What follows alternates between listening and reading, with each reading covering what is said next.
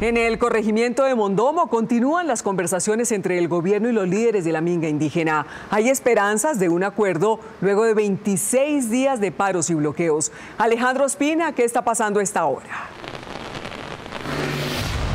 Hola, muy buenas noches. Pues ayer la jornada fue de 10 horas. La reunión terminó casi a las 2 de la mañana, sin embargo no hubo alguna solución, pero lo que hemos podido conocer hoy de manera extraoficial es que al parecer sí habría un acuerdo en el tema presupuestal entre los delegados del gobierno colombiano y la minga indígena. Sin embargo, esa información no ha sido confirmada de manera oficial. Estamos aquí atentos a la información que nos puedan suministrar. Mientras tanto, ellos siguen reunidos en el Colegio José María Córdoba, aquí en el corregimiento de Mondomo. Los indígenas pidieron un espacio autónomo también para definir temas de derechos humanos y estamos a la espera de recibir esa información de si hay o no el desbloqueo de la vía panamericana. Mientras tanto, esto fue lo que ocurrió hoy aquí en el Cauca.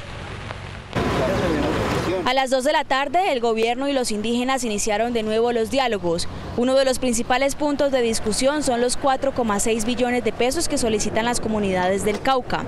La ministra del Interior fue muy clara sobre esta petición. Estamos en, la concertación nuevamente sobre un principio que nos ha dicho el presidente Duque. No nos vamos a comprometer a nada que no se pueda cumplir.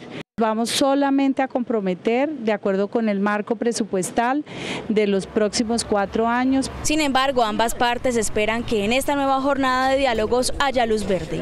Esperamos llegar a algún acuerdo en el día de hoy. Eh, igual ya se le hicieron unos requerimientos y vamos a entrar ahora a la comisión y esperemos que puede pasar más tarde. Y mientras en Mundomo se busca una salida que permita el desbloqueo de la vía luego de 26 días, en la Panamericana se agudiza la situación de orden público. Encapuchados intentaron saquear uno de los camiones que transitaba por la vía. La policía lo evitó, pero el miedo se siente en el ambiente que pasamos con los vehículos y nos están atracando, nos lo están quemando, nos están haciendo daños. Eso no es pelear por una causa, sino dañar otra, la población. Eso lo que están haciendo es delincuencia. Y en Popayán, empresarios, comerciantes y pequeños productores realizaron un plantón exigiendo que se llegue a un acuerdo que permita la reapertura de la principal vía del noroccidente del país.